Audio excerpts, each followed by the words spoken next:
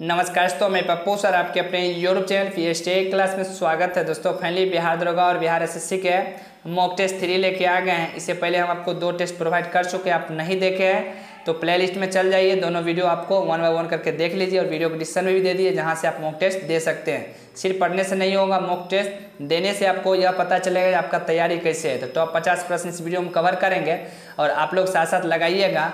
Negative mark भी है zero point पच्चीस। अगर पचास में अगर तीस प्रश्न आपका सही होता है तो आपका तैयारी सही है। तो इसीलिए चलिए, वीडियो को स्टार्ट कर लेते हैं और प्रश्न की ओर हम लोग चलते हैं। बिहार दरोगा और बिहार पुलिस में जो प्रीवियस ईयर में पूछा गया प्रश्न है, वही प्रश्न हम लोग इस वीडियो में कवर करेंगे, जो बार बार रिपीटेड प्रश्न है। और अभी तक पी एच टी के टेलीग्राम में नहीं ज्वाइन किए तो टेलीग्राम ज्वाइन कर लीजिए व्हाट्सअप चैनल नहीं ज्वाइन किए तो व्हाट्सअप चैनल ज्वाइन कर लीजिए, क्योंकि वहाँ में फ्री में आपको पी मिल जाएगा। तो चलिए, बिना समय के बाद वीडियो को स्टार्ट कर लेते हैं। इससे पहले हमारे चैनल पर अपने चैनल को सब्सक्राइब कर और नोटिफिकेशन ऑन करिएगा। डेली बेसिस से सही वीडियो पाने के लिए दोस्तों वीडियो में बने रहिए। चलिए हम लोग प्रश्न की ओर चलते हैं और आप लोग लगाइएगा और कमेंट करके बताइएगा पचास में आपका कितना प्रश्न सही हो रही है। आप वीडियो में बने रहिए। दोस्तों सभी प्रश्न ऑनलाइन प्रश्न लिए हैं ताकि अधिक प्रश्न एक वीडियो में कवर कर पाएँगे। देख लीजिए, पहला प्रश्न है, अजात शत्रु किस धर्म को मानता था? राइट सर जैन धर्म को। दूसरा है, उदयन ने किस नगर की स्थापना की और अपनी राजधानी बनाई? पाटलिपुत्र। फटाफट हम लोग प्रश्न कवर करेंगे। आप लोग कमेंट करके बताइएगा वीडियो कैसा लगा और शेयर कर दीजिएगा।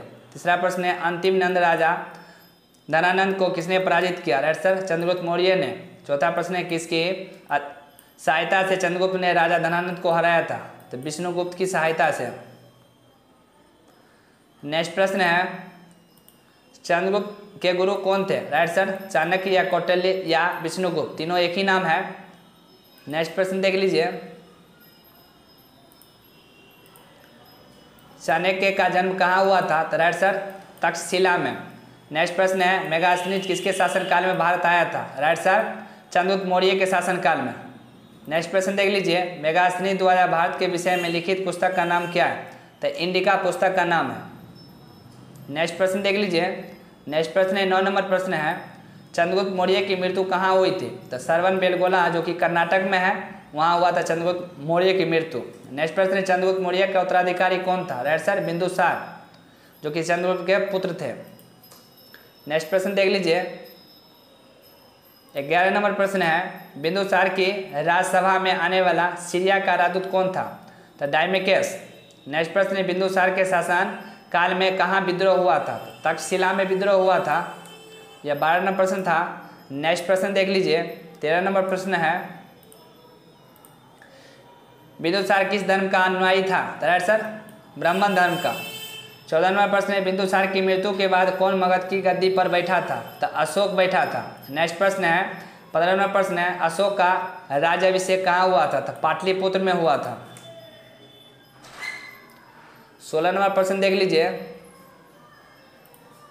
सोलह नंबर प्रश्न है, कौन सा युद्ध अशोक के जीवन में एक महान परिवर्तन का सूत्रपात करता है? तो राइट सर कलिंग का युद्ध सत्रह नंबर प्रश्न है अशोक के अभिलेख किस लिपि में लिखे गए? राइट सर खरोष्टी लिपि एवं ब्राह्मणी लिपि, दोनों लिपि में लिखा गया। नेक्स्ट प्रश्न है अठारह नंबर प्रश्न देख लीजिए। कलिंग युद्ध के बाद अशोक ने किस धर्म को अपनाया था? तो बौद्ध धर्म को। उन्नीस नंबर प्रश्न है, अशोक ने बौद्ध धर्म के प्रचार हेतु अपने पुत्र महेंद्र, बेटी चारो, मित्रा और संगमित्रा को कहाँ भेजा था? तो राइट सर श्रीलंका और नेपाल भेजा था। नेक्स्ट प्रश्न देख लीजिए। नेक्स्ट प्रश्न है अशोक के, बौद्ध गुरु कौन थे? Right sir, Upagupta. चलिए आगे चलते हैं। इक्कीस नंबर प्रश्न है, अशोक ने कहा के स्तंभ पर चार सिंगों का सिंगों का शीर्ष बनवाया गया है। तो इसका सारनाथ, अशोक के स्तंभ सारनाथ है, वहाँ पे देखिए चार सिंगों का शीर्ष बनवाया गया है सारनाथ में। बाईस नंबर प्रश्न है खरोष्टी कैसे लिखी जाती है? तो दाई से बाई ओर लिखी जाती है खरोष्टी लिपि। नेक्स्ट प्रश्न देख लीजिए। नेक्स्ट प्रश्न है अशोक के अधिकांश लेख प्रमत भाषा में क्यों है? तो अधिकांश लोगों द्वारा समझने हेतु प्रमत भाषा में लिखा गया है मतलब सरल भाषा में। चौबीस नंबर प्रश्न देख लीजिए।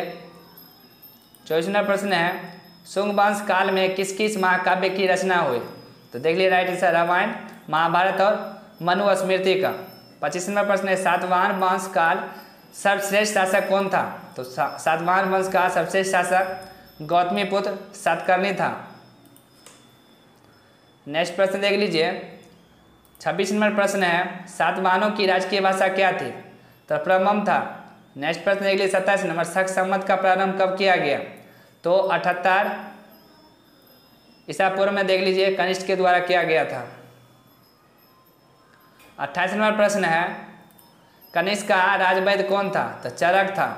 नेक्स्ट प्रश्न है, कनिष्ठ के युग में युग में कौन कौन से कला का विकास हुआ? तो राइट साइड देख लीजिए गंधार कला गंधार कला, सारनाथ कला, मथुरा कला और अमरावली कला का विस्तार हुआ था कनिष्ठ के युग में। नेक्स्ट प्रश्न देख लीजिए।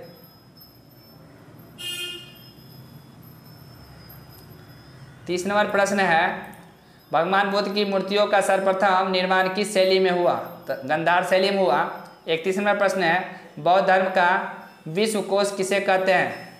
तो देख लीजिए महाविभाषा शास्त्र को कहते हैं। बत्तीस नंबर प्रश्न देख लीजिए। कनिष्क का दरबारी कवि कौन था? तो राइट सर अश्वघोष तैतीस नंबर प्रश्न है कनिष्क के शासनकाल में कौन कौन से विद्वान थे? तो अश्वघोष नागार्जुन और वसुमित्र और चरक। ये सब देख लीजिए, कनिष्क के शासनकाल में विद्वान थे। नेक्स्ट प्रश्न है नागार्जुन को किस नाम से जाना जाता था? तो राइट सर, भारत का आस्टीन इसे कहा जाता है। नेक्स्ट प्रश्न है, गुप्त काल को भारतीय इतिहास में किस नाम से जाना जाता है? दर्शरा स्वर्ण युग छत्तीस नंबर प्रश्न है, गुप्त वंश का प्रथम महान सम्राट कौन था? तो चंद्रगुप्त प्रथम था। सैंतीस नंबर प्रश्न देख लीजिए। सैंतीस नंबर प्रश्न है, चंद्रगुप्त प्रथम ने कौन सी उपाधि धारण की थी? तो महाराजा धीराज की उपाधि धारण की थी। नेक्स्ट प्रश्न देख लीजिए। अड़तीस नंबर प्रश्न है, भारतीय इतिहास में किसे है? भारतीय नेपोलियन के नाम से जाना जाता है। दरअसल, समुद्रगुप्त। उनचास नंबर प्रश्न है, किस प्राचीन भारतीय शासक को सौ युद्धों का विजेता माना जाता है? समुद्रगुप्त को। चालीस नंबर प्रश्न है, चंद्रगुप्त द्वितीय ने कौन सी उपाधि धारण किए थे? विक्रमादित्य के उपाधि धारण किए थे। नेक्स्ट प्रश्न देख लीजिए। इकतालीस नंबर प्रश्न है, चंद्रगुप्त द्वितीय शासन, देखिए, चंद्रगुप्त द्वितीय के शासनकाल में कौन सा चीनी यात्री भारत आया था? तो राइट सर फायान। बयासी नंबर प्रश्न है, चंद्रगुप्त द्वितीय के दरबार में प्रसिद्ध कवि का और नाटककार कौन थे? तो कालिदास। तैतालीस नंबर प्रश्न देख लीजिए। तैतालीस नंबर प्रश्न है चंद्रगुप्त द्वितीय के शासनकाल में प्रसिद्ध चिकित्सक कौन थे? तो धनवंतरी थे चौवालीस नंबर प्रश्न है। गुप्त काल के कौन से चित्र प्रमुख है? तो अजंता की गुफाओं के चित्र प्रमुख है। आगे देख लीजिए। पैंतालीस नंबर प्रश्न है, इतिहास का पिता किसे समझा जाता है, राइट सर? हेरोडोटस को। छियासी नंबर प्रश्न है, किस काल में मानव की घटनाओं का कोई लिखित वर्णन नहीं होता? उस काल को क्या कहते हैं? तो प्राग ऐतिहासिक काल कहते हैं।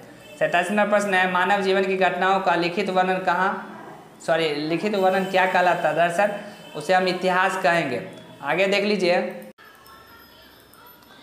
अड़तालीस नंबर प्रश्न है, आग का आविष्कार किस युग में हुआ? तो राइट सर पूरा फसान युग में हुआ था, पूरा फसान युग हो जाएगा यहाँ पर हर्षिका लगा लीजिए, पूरा फसान युग में हुआ था। अगला है, पूरा फसान युग में मानव की जीविका का मुख्य आधार क्या था? इसका शिकार करना था। और आज का आखिरी और लास्ट प्रश्न है पहिए का आविष्कार किस युग में हुआ? तो राइट सर नव फसान युग में हुआ।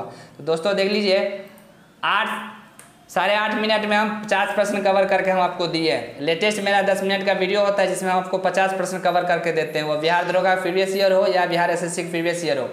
जो कि इंपॉर्टेंट प्रश्न देते हैं। यही आपको एग्ज़ाम हॉल में देखने को मिलेगा। तो आप लोग कमेंट करके बताइएगा जो पचास में आपका प्रश्न कितना सही हुआ। और चैनल पर नए चैनल को सब्सक्राइब करो। और नोटिफिकेशन पर सेट कीजिए और वीडियो को ज़्यादा से ज़्यादा अपने दोस्तों को भी शेयर कीजिए। और पीडीएफ चाहिए तो पी एच टी का टेलीग्राम ज्वाइन कर लीजिए। व्हाट्सअप चैनल ज्वाइन कर लीजिए, जहाँ से आपको पीडीएफ फ्री में मिल जाएगा। और बताइएगा कमेंट करके वीडियो कैसा रहा। थैंक यू आज बात करने वाले हैं V double S C inter level vacancy बारे में, जो ग्यारह हज़ार इक्यानवे पदों पर वैकेंसी निकल के आ रही है, उसके लिए बेस्ट बुक के बारे में। तो तक्षु प्रकाशन के बेस्ट बुक लेके आ गए, जो कि आपके लिए रामबान साबित होगा। 2014 में यहाँ से हंड्रेड परसेंट परसेंट देखने को मिला था इस बुक में। पंद्रह प्रैक्टिस सेट व्याख्या सहित आपको दिया हुआ है हल। दो हज़ार बहुविकल्पीय प्रश्न व्याख्या सहित हल दिया हुआ है। जो कि मार्केट में जो बुक है, उससे हंड्रेड परसेंट गारंटेड बुक है।